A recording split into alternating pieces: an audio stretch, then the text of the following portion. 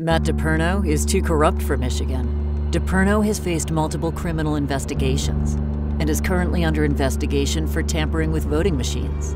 DePerno refuses to account for almost $400,000 he raised for a scam election defense fund.